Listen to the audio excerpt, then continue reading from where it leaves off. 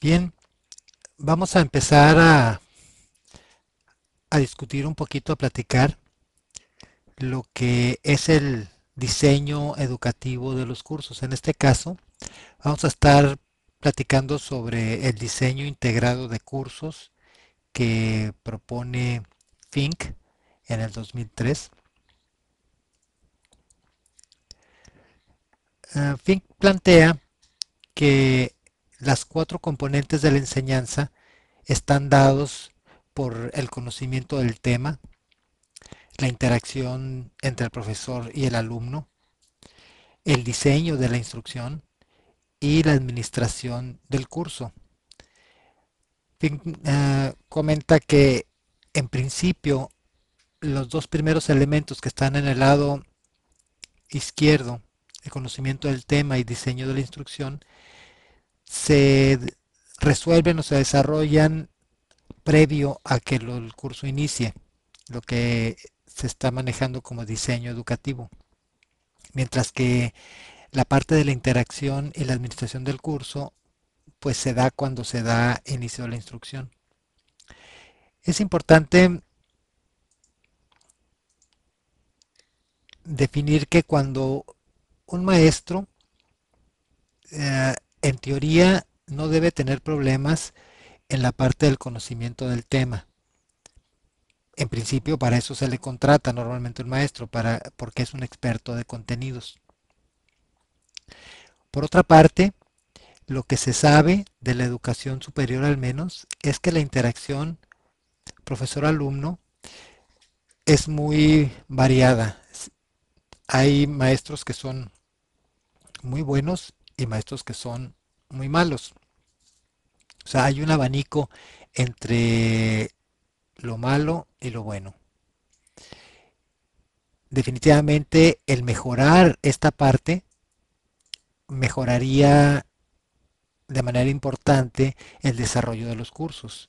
O sea, aquí en interacción estamos hablando de todas las características que ponen en relación el alumno con el profesor.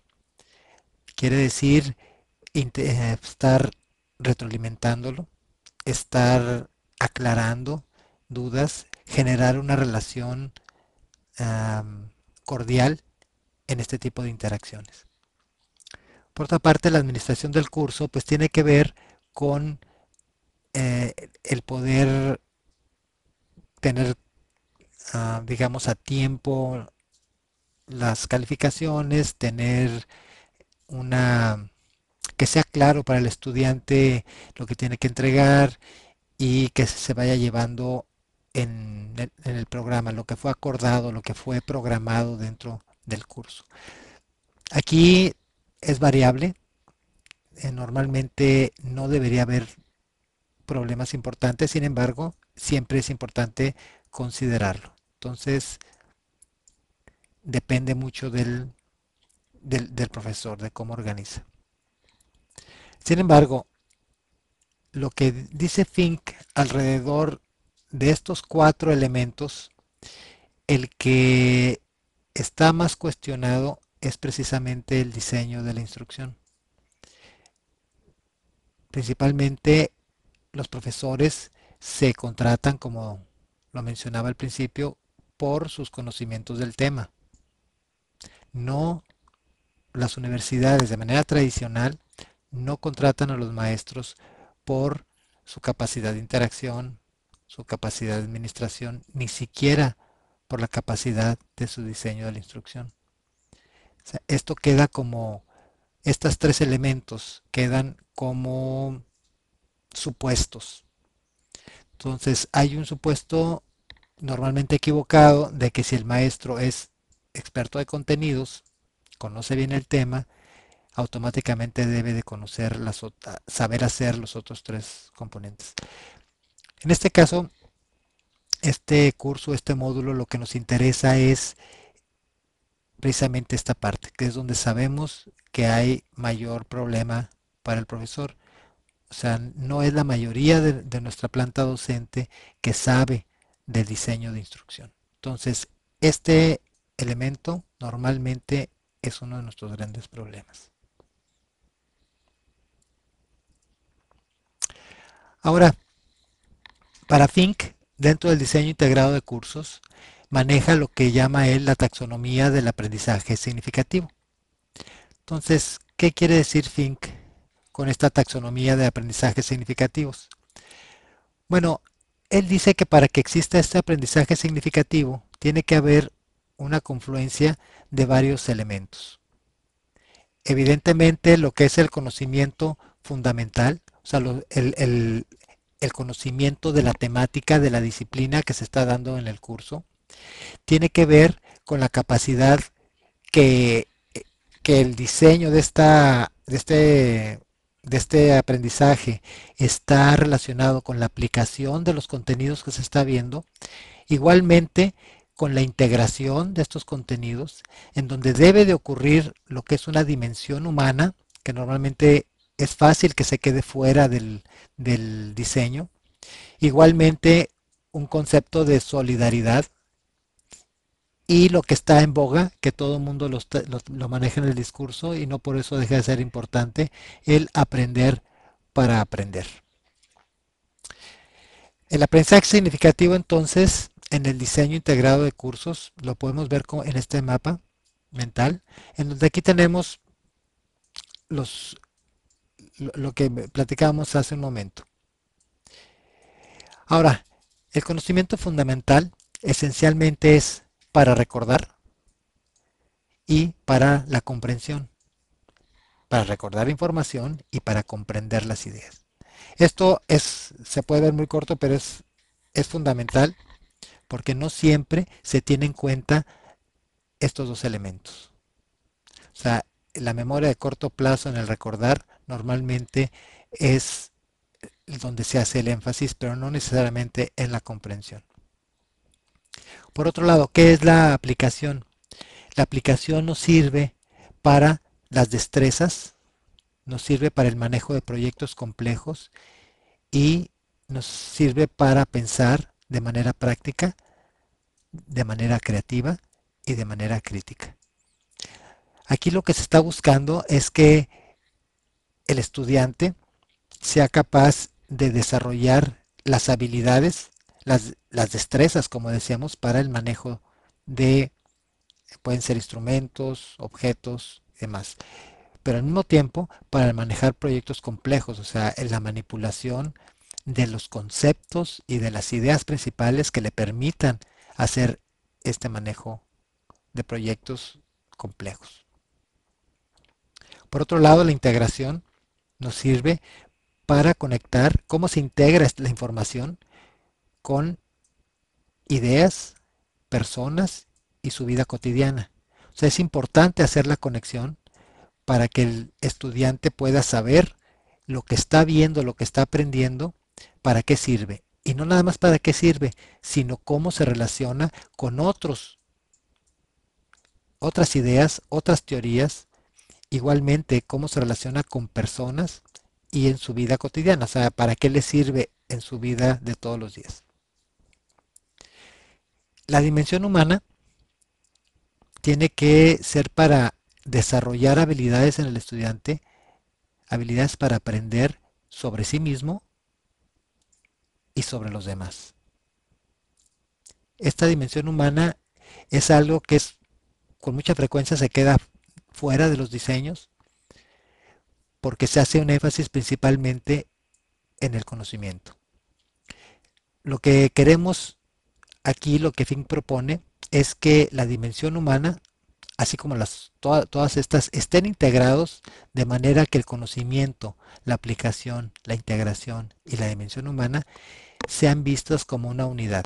Lo que él conoce, lo que aplica y lo que integra tiene, tiene las posibilidades de brindarle al estudiante la posibilidad de aprender sobre sí mismo y sobre los demás.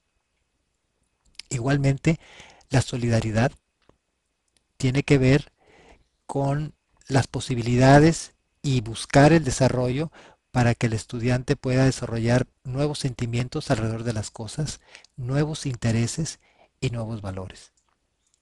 Entonces, se empieza a hacer, se empieza a permear la parte humana y la parte social hacia los contenidos, la aplicación y la integración. igualmente aprender para aprender. Tiene que promover, es algo que se busca siempre, estar promoviendo la aprender a ser mejores estudiantes, ser capaces de investigar sobre nuevos temas, picarle las curiosidades, darles que quede claro que, que la información y el conocimiento no se acaba con lo que están viendo en su curso, sino que todo está de, alguna manera conectado, que es una visión más sistémica de las cosas. Y otra cosa deseable es que sean aprendices autodirigidos. Esto quiere decir que sean capaces de seguir aprendiendo en base a sus motivaciones, a sus deseos. Entonces, si ustedes pueden ver este mapa mental, lo que busca ese aprendizaje significativo no nada más es conocimientos aislados, sino es conocimientos que se aplican, que se integran, que tienen la posibilidad de desarrollar una dimensión humana, una dimensión de solidaridad y capacidades para aprender a aprender. Ahora, todo esto está embebido en la vida cotidiana del profesor. Está en lo que llamamos entre dos paradigmas. Un paradigma que está centrado en el aprendizaje, que eso es lo que propone Fink, y bueno, y lo que está en la discusión actualmente, desde hace años, es buscar cómo estar centrados en el aprendizaje. Pero también nos encontramos en un paradigma que es el actual, el que está vigente, vigente porque es el que se utiliza, es que está centrado en los contenidos. Ahora, ¿qué, cómo, cómo, se puede representar esto y cómo se relaciona con la taxonomía del aprendizaje significativo? El efecto que estos dos paradigmas tienen en el tipo de contenidos que se dan en un curso tiene que ver principalmente el paradigma que está centrado en el contenido empuja la enseñanza y el aprendizaje en la dirección que, indica esta flecha. Únicamente. Abarca esta área. En donde lo que se busca es el conocimiento fundamental. En donde los temas A, B, C, D, E, F, G, y ahí se va, son la médula y, y la columna vertebral sobre el cual se diseña el curso. Esta aproximación cada vez se le han visto más limitaciones, sobre todo, bueno, no es que cada vez, eh, como que es, eh, esa es una de sus limitaciones de por sí, por sus características, es algo que los profesores se dan cuenta, pero sienten que no tienen alternativas alrededor de qué hacer.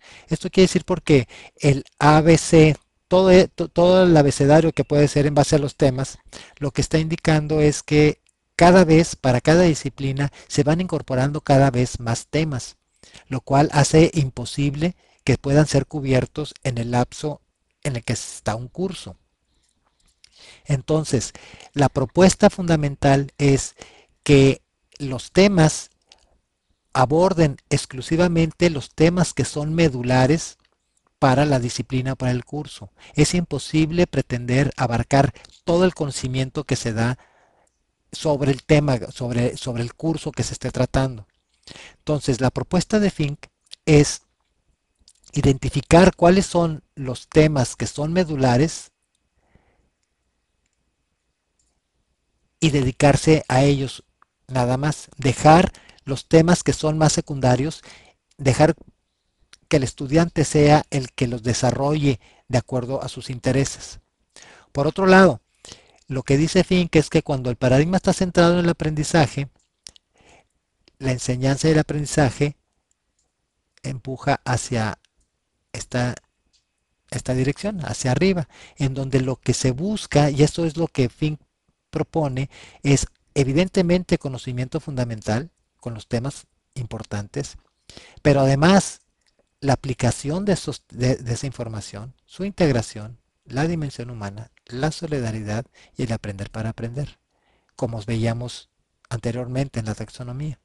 Entonces, para Fink es más importante sacrificar los contenidos, claro, sacrificando los contenidos secundarios, dejar nada más los que son los medulares y dedicar el tiempo a la aplicación, la integración, dimensión humana, solidaridad y aprendiendo a aprender. O sea, es una, una visión, por eso le llama un diseño integrado, porque está integrando las dimensiones que normalmente se quedan fuera cuando lo único que hacemos es trabajar sobre el conocimiento fundamental. Entonces, esta es la propuesta de Fink y sobre esta vamos a desarrollar un poquito más en los próximos segmentos. Gracias por su atención.